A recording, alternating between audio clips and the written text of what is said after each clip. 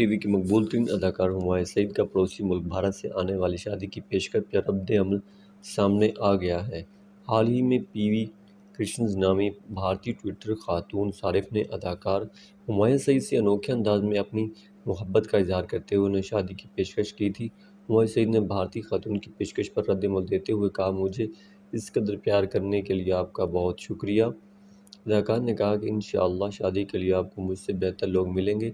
मोहित सईद रद्द-ए-अमल का जवाब देते हुए भारतीय खातून ने कहा कि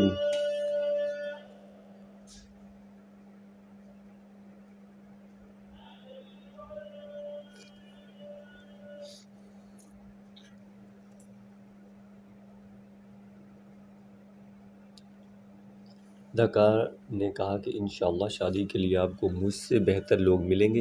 हुमायूं सईद के रद्द-ए-अमल का जवाब देते हुए भारतीय खातून ने कहा कि मेरे पास लिखने के लिए अल्फाज नहीं है भारतीय खातून ने कहा कि खुशी से मेरे आँसू निकल आए क्योंकि आपने मुझे जवाब दिया। वाज़ेह रहे कि खातून भारतीय ट्विटर सारिफ ने अपने पैगाम में हुमायूं सईद से मुखातिब करते हुए पूछा था कि क्या आप मुझसे शादी करेंगे। भारतीय सारिफ ने कहा था कि मुझे मालूम है कि आप पहले से ही शादी शादीशुदा हैं, लेकिन इस दिल का क्या करूँ।